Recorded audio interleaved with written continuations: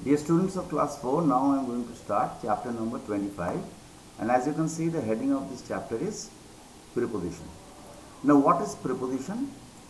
अब देखो यहाँ पे कुछ एग्जाम्पल्स है কতগুলো এক্সাম্পল আছে এক্সাম্পলগুলোকে আমরা ভালো করে স্টাডি করে দেখি দেখ the cat is on the table এই যে অন কথাটা এই অন কথাটা এই সেন্টেন্সে দুটো নাউন একটা নাউন মানে ক্যাট আরেকটা নাউন হচ্ছে টেবল এই অন কথাটা কি করছে? এই দুটো নাউনের মধ্যে রিলেশন সম্পর্কটা বোঝাচ্ছে যে ক্যাটটা কোথায়? টেবিলের ওপরে। দ্য ডাক ইজ ইন দ্য পন্ড তো দেখ, এখানে একটা নাউন হচ্ছে ডাক আরেকটা নাউন হচ্ছে পন্ড পুকুর। তাহলে এই ইন কথাটা এই দুটো নাউনের মধ্যে সম্পর্ক বোঝাচ্ছে যে ডাকটা কোথায়? পুকুরের ভেতর। বন্দনা দেখ, একটা নাউন হচ্ছে বন্দনা আরেকটা নাম হচ্ছে river Bandana jump into the river তাহলে এই যে ইনটু কথাটা, এটা বন্দনা আর রিভারের মধ্যে সম্পর্ক বোঝাচ্ছে। কার একটা নাম ট্রি একটা নাম the car is behind the tree গাড়িটা গাছের পেছনে। তাহলে এই বিহাইন্ড কথাটা কি করছে? গাড়ি আর কারের মধ্যে রিলেশন বোঝাচ্ছে। তাহলে আচ্ছা আমি আরেকটা এক্সাম্পল নিজে থেকে লিখছি, দেখ।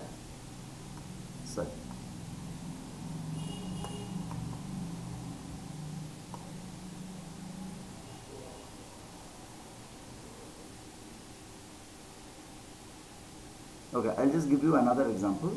একটা example দিচ্ছি দেখ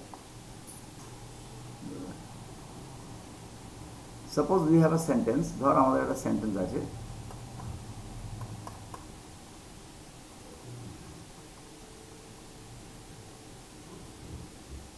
suppose I have a sentence I am sitting beside beside মানে পাশে, beside him. দেখ হিম ইজ আ প্রোনাউন হিম একটা প্রোনাউন আই একটা প্রোনাউন তাহলে আমি কোথায়? আমি ওর পাশে। তাহলে বিসাইড ওয়ার্ডটা কিন্তু আই এবং হিম এই দুটোর মধ্যে রিলেশন বোঝাচ্ছে। তার মানে প্রোনাউন হচ্ছে একটা এমন শব্দ, যে শব্দগুলো দুটো নাউন বা দুটো প্রোনাউনের মধ্যে বা একটা নাউন বা আর আরেকটা প্রোনাউনের মধ্যে রিলেশন বোঝায়। ঠিক আছে? এখানে আরও কতগুলো example some other examples are also given যেমন, দেখ সুটকেস সুটকেসটা একটা নাউন আর বেড একটা নাউন সুটকেসটা কোথায়? বেডের ওপরে। তাহলে অন কি করছে? সুটকেস আর বেডের মধ্যে পার্থক্য বোঝাচ্ছে। এবার দেখ suitcase is under the table মানে নিচে।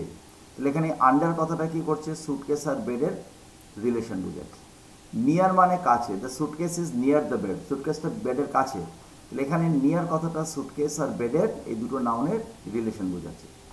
তাহলে দুটো এমন ওয়ার্ড সরি একটা এমন ওয়ার্ড যেটা দুটো নাউনের মধ্যে বা দুটো প্রোনাউনের মধ্যে বা একটা নাউন আর আরেকটা প্রোনাউনের মধ্যে রিলেশন বলে, সেই ওয়ার্ডগুলোকে আমরা প্রিপোজিশন বলি।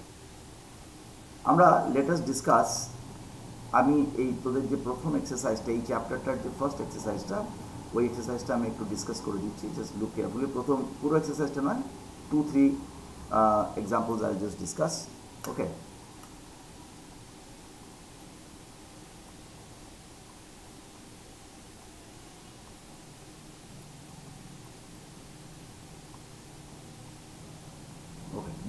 যেমন oh what is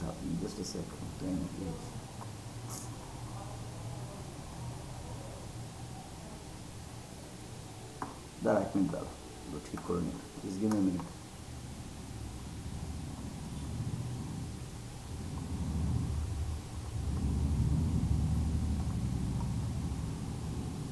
okay তো এখানে আমাকে কি করতে হবে প্রথম এক্সারসাইজে ও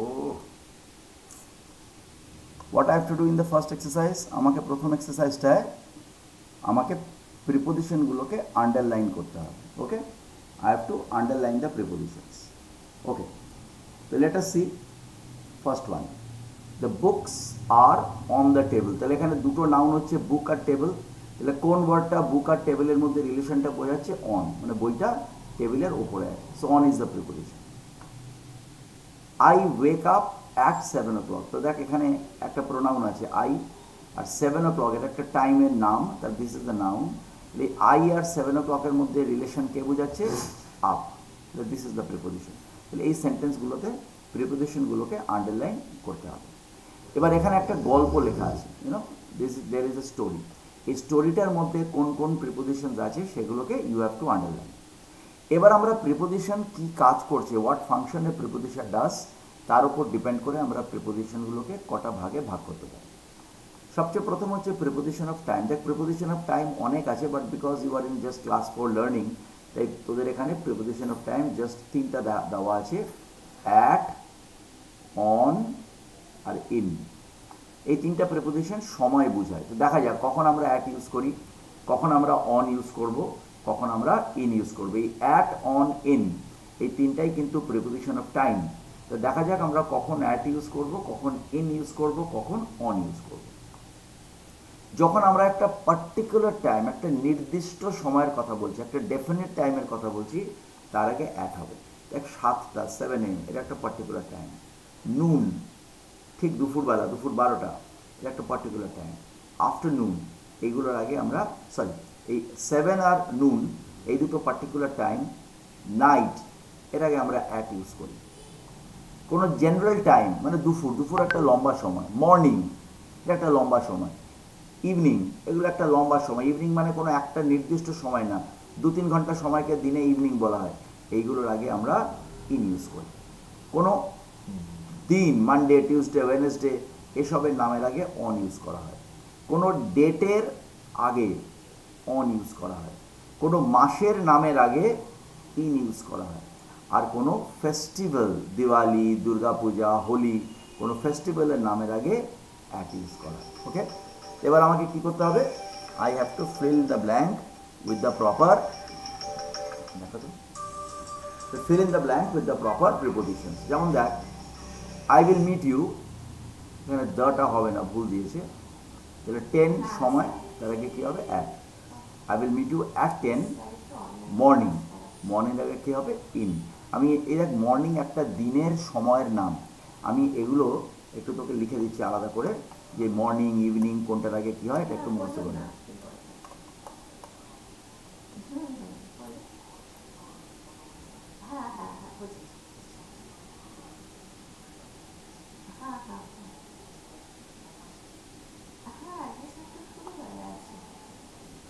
ওকে এটা বারবার ইয়ে হয়ে গেছে দাঁড়া আমি দেখছি জাস্ট ওয়ান মিনিট ওকে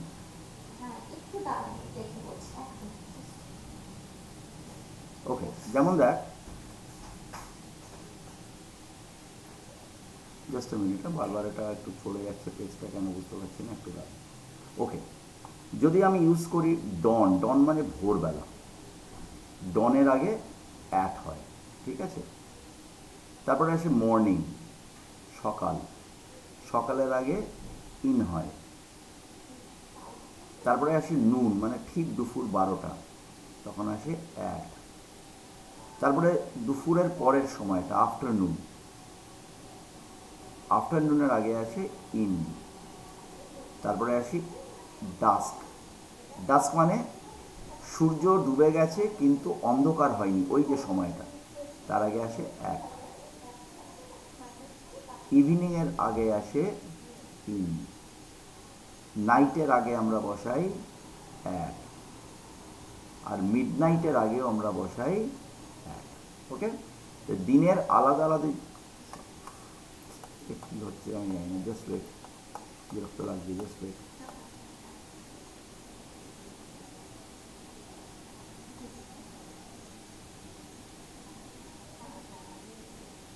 ওকে মিড নাইট মানে মাঝরাত। এই মাঝরাতের আগেও বসে মিড নাইট এর আগেও বসে এক। তাহলে এখানে আমাকে কি করতে হবে? এখানে আমাকে প্রিপোজিশন অফ টাইম যেগুলো আছে বা প্রিপোজিশন যেগুলো আছে সেগুলোকে ওটা চলে গেল। তো এখানে আমাকে কি করতে হবে? প্রপার প্রিপোজিশন অফ টাইম বসাতে হবে। আচ্ছা এবার দেখ।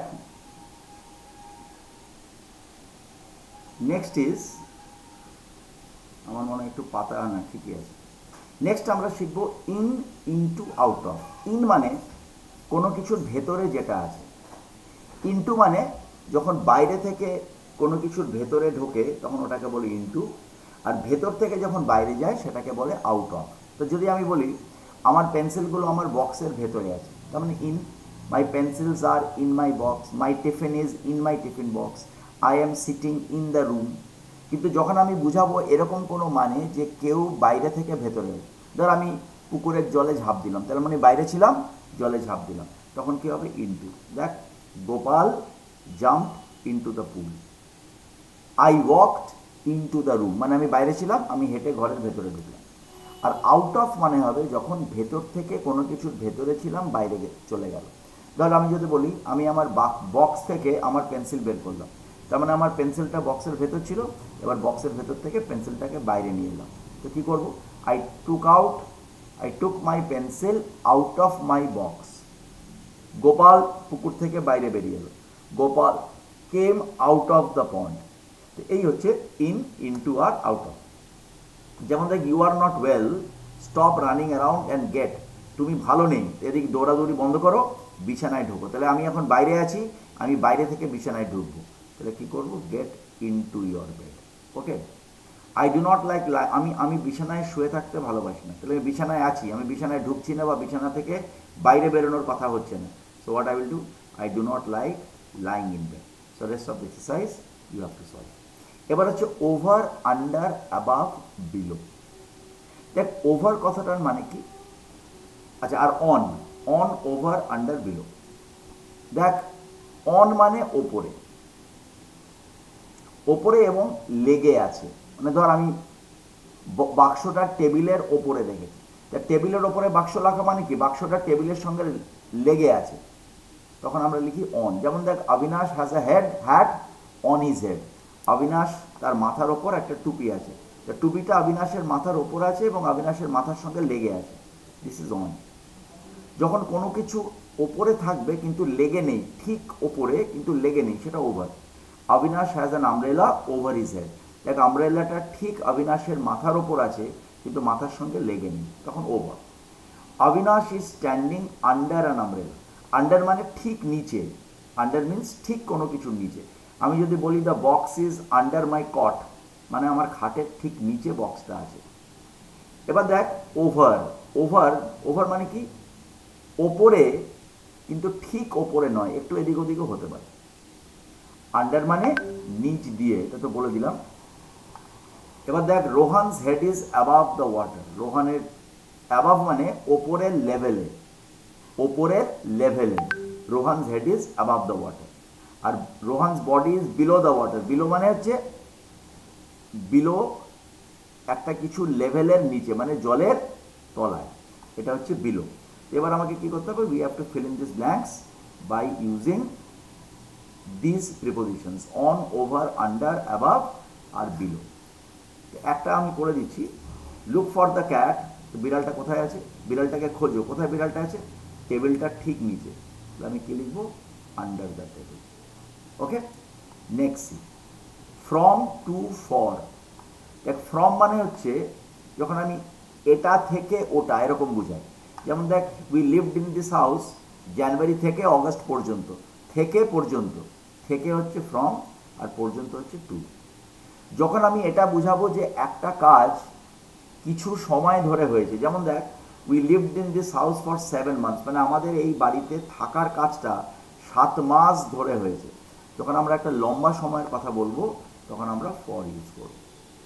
এবার দেখ, আমি যখন কোনো জায়গায় যাচ্ছি, আমি কোন জায়গায় যাচ্ছি, তার আগে আমি টু ইউজ করব। আই ওয়েন্ট টু চেন্নাই আমি স্কুলে যাচ্ছি। I am going to school etcetera from মানে হচ্ছে শুধু যখন আমি ফ্রম ইউজ করব, তার মানে হবে থেকে। মানে কোথা থেকে আসছি? হি রিটার্ন ফ্রম মুম্বাই সে মুম্বাই থেকে আসছে। আর এটাও দেখ, একটা কাজ কতদিন ধরে চলছে সেটা বলার সময় তার আগে ফর আসবে। এক সপ্তাহ ধরে চলছে he stayed there for week মানে সে সেখানে এক সপ্তাহ ধরে ছিল। আচ্ছা এবার দেখ এগুলো আমাকে ব্ল্যাঙ্কগুলো এই প্রিপোজিশনগুলো দিয়ে ফিল করতে হবে। উই লিভড ইন রাজস্থান দু হাজার পাঁচ থেকে দু হাজার উনিশ পর্যন্ত।